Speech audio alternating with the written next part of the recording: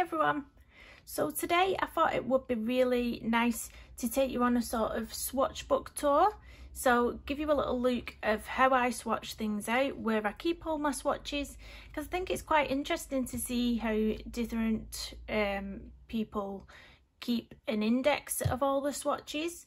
Um, there's lots of different ways you can record swatches. Some people don't at all which I've only recently updated mine so I don't always go off the swatch book but it is really nice um, to have it if you do want specific colours and you want to check that it is going to lay down the exact right colour that you're after. So I'm just going to pop this welcome little board out the way. So the way that I keep my swatches is in this little book.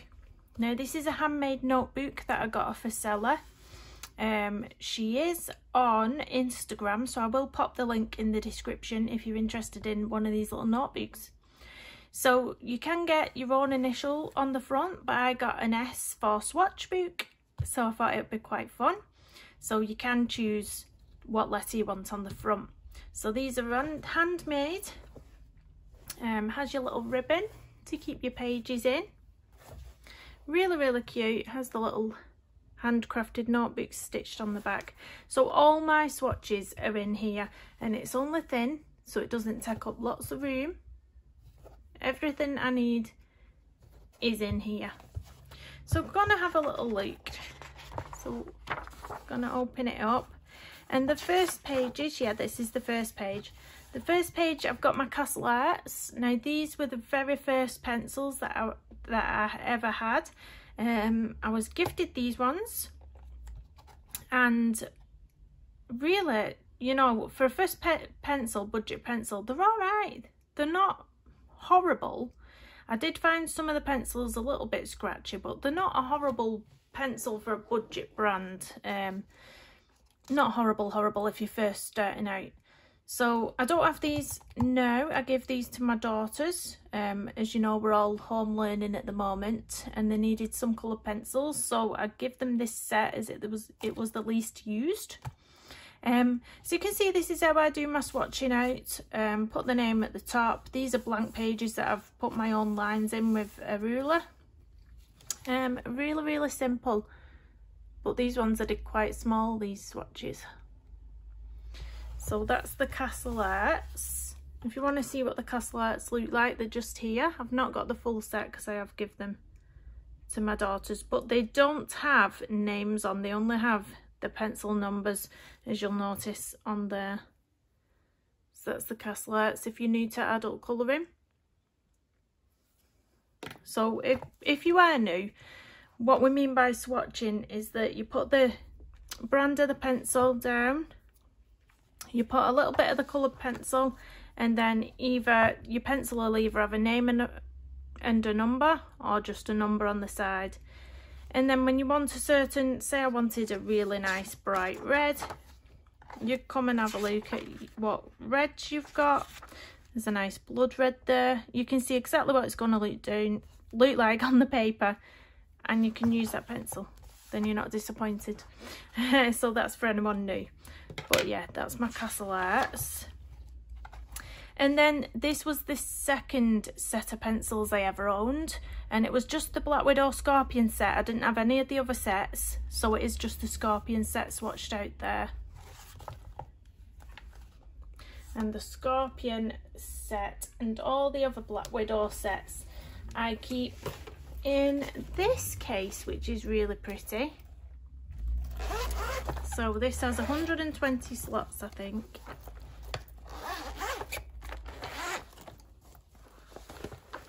That's those ones. And if my previous videos gave you anxiety because I didn't have any of my pencils in the correct colour coordinations, I have tidied them all up. As you will notice when we go through this video, um, I just chuck my pencils in any order basically. So I don't know how long they'll stay like this. But for now, you know, all my greens are there. It's harder to see with the older sets of the Black Widows because they don't have this um, colour on the end. So it's really tricky to try and find the colour that you want in these ones. But yeah, that's where I keep my Black Widows. so moving on, this was the first set of Prismacolors that I got to try out. This was the manga set. Um, so that was those. The Caran d'Ache, um, I just bought some single stocks on Cult Pens, so I've swatched them all here. This is the only Luminance pen pencils that I own.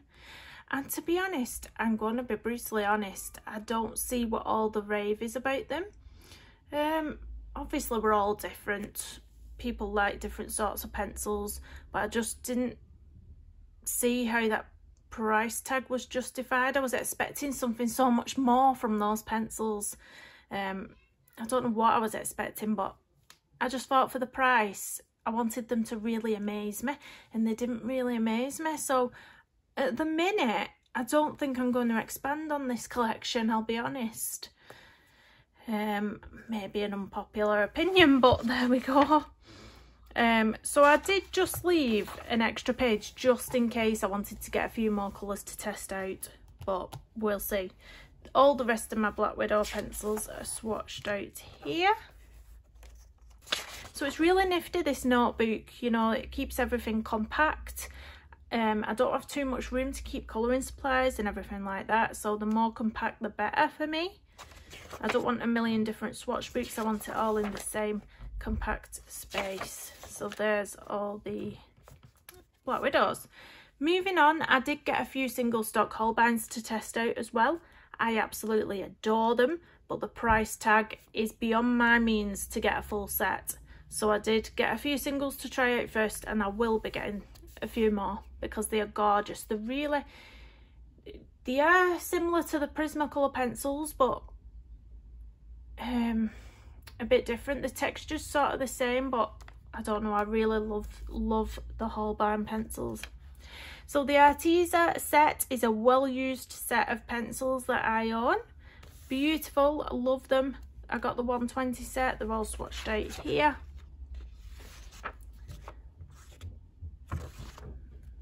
As you can see, there's some beautiful colours in this set. I recommend these ones to anybody. If you're looking for a budget-friendly um, brand of pencil, the Arteza 120 set, you cannot beat. It's a lovely soft, I find it a lovely soft pencil. Goes down nicely, blends nicely. But yeah, I have all them swatched out there. All my Artezas are in the Arteza case as well that you can get off the Arteza website. So it's this one. It's a really big case, this one. So I have put these in colour order as well, guys turn it round then you can see Luke Debbie I've fixed them all they're all beautifully coordinated now Luke I'm not promising it's going to stay like this but for now look at this but you can see that the well-used pencils a lot of them are burring really small now Oh, it's just so funny how shocked everyone was when they saw the state of the order of my pencils. Chucked in, chucked in there was. Um, then I expanded on my Prismacolor Premier collection. Um, it's took me a long time to get used to these pencils. From going from a hard leaded pencil onto something so soft and so blendable, I was finding it really tricky. But now I can confirm I really love these pencils. It has took a while though. You have to teach yourself a whole different way of colouring when you get a new pencil. Um, I don't know if you've found that with anything where you just can't get on with a certain brand of pencil. Just keep trying, keep trying because there are a beautiful selection of colours um, and I will be expanding on this collection. And that is why I know there's 150 pencils in the Prismacolor set. So I have left, I've ruled all my lines out and I've left space for the rest of the pencils so I can add to that at some point. Moving on, I've, this is a new pencil that I've got. I've got the Irojiten Tombow um, volumes 1 to 6. So they come in three separate sets and I have got a review video up on my channel if you want to watch that. But I did swatch these out on the channel. Beautiful colours. I did my swatches slightly different on this one whilst I did it online because I wanted them to be seen easily. Whereas I had been doing little circles before. I wanted my viewers to really see the vibrancy of the colours. But these ones I've kept in the little boxes because they do come like this. So there is, if I turn them round, volumes 1 to 6 which are really cute in the little cases. So I've not got a separate pencil case for them. I am going to keep them in here. They are compact. They are nice to just sit on the side but yeah these are the swatches this is how I did the swatches for those ones they have the names lovely little names. And then I've left room for the last set that I need to get in those. So these are the Faber-Castell Polychromos. These are a new pencil to me as well. I got single stocks again of these and I absolutely adore them. So I will be getting more of these and I have left room to swatch out more pencils of these as well. Really, really nice pencil, especially if you're doing her um, if you like doing portrait pictures and lots of her, like the Mariola Budek images, anything like that, they're really good for her or for really good for getting those strokes. Well, there's I've got some nice selections of browns here. But yeah, again, I've ruled out all the lines ready. There's 120 of them. So that's it of my pencils there. But in the back of the swatch book, I have swatched out some alcohol markers. Now what I do with this, so that I could keep them all in this book, but obviously because it's thin up book paper, if I'd have swatched them directly onto this, it would have gone through to the other side. So what I did was I swatched them out on some cardstock and then I stuck that into this book. So I'm still keeping all my swatches in the same place, but it's not going to ruin my notebook. so these are the Winsor and Newton Pro markers swatches that I've stuck in here. You can see where they've been stuck in. But they're really, really nice. I do have the Ohuhu markers as well, but I'm not a fan of those. So I didn't bother swatching them out because, yeah. So I've got the Colour gel pens all my, I swatched out all my gel pens out in here as well. So that's the Colour ones. The only gel pens I've not swatched out are the Sakura Gelly Rolls because unfortunately they don't have um, colour names or numbers on those gel pens. I would really love them to, but the ones that I have don't. So there's no point me um, swatching those. These are the Colour alcohol markers. Again, I've swatched them out on some cardstock and then stuck it in.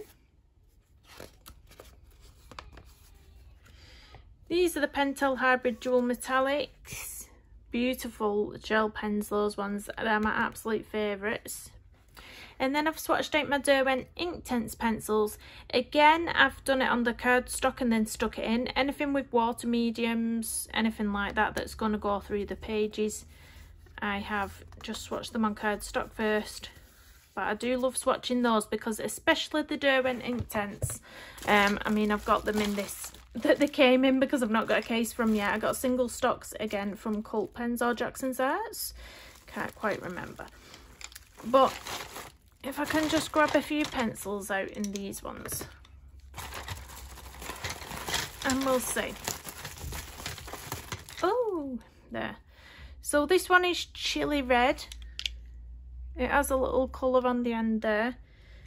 But if we find chili red there, it doesn't really, you know, if you look on the, right on the tip of the pencil, it sort of looks a bit brown. So if you was going off this and you thought, oh, I want a nice red, you possibly wouldn't pick that colour up. But it is the chili red there. That's what it is. So it is really nice to swatch out some pencils, look totally different to what they do on the tips. But I do need to get a case for those, that is annoying me in that bubble wrap. But that's how I swatched my Derwent Inktense out on some cardstock. Really pretty colours, look at those greens and blues. And then these are the Stabilo CarbOthello pastel pencils that I swatched out. Now, I got a bit trigger happy with the um, fixative and it put too much on here so it has just bled a little bit but not to worry I can see what colours they are. So yeah that's where I keep all my swatches. It's a beautiful beautiful little handmade notebook but everything's compact everything's there you know I only need to grab out this little notebook when I'm doing my colouring. I can take this downstairs onto the couch. I can take it upstairs in bed.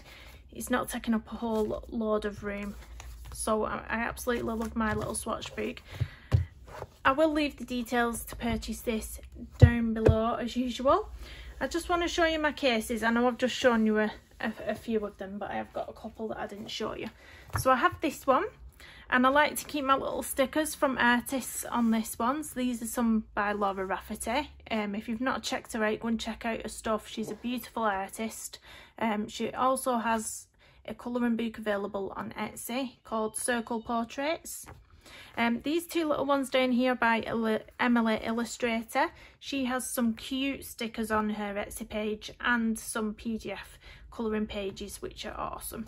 So I do like, when I support my favourite artists and put their stickers, buy their stickers, I stick them on my cases like this. So this is where I hold my single stock polychromos that I've got. Um, I've put my luminance in here just because this is the only luminance pencil that I love. This is the Buff Titanium and I use it as a blending pencil. So I've just bought myself a new one because my last one was about this big, teeny tiny. So that's a new one that I've just purchased. But yeah, that's all I've got in here so far. It's just my um, single stock polychromos, so I'm going to build on that hopefully. Um, in this one, this is a new case. So this is similar to my other one, but a slightly different colour. This one's a bigger case. So this one has four zipped slots instead of three. So where the others hold 120 pencils, this one holds 160 pencils, I believe. And at the minute, it's got my Prismacolors in it. So you can see these have been used a lot, me trying to get used to them. Um, the only the only thing I have with Prismacolors is I've come across a lot of pencils that have just full full point broke on me. Um, I think it was this one last night.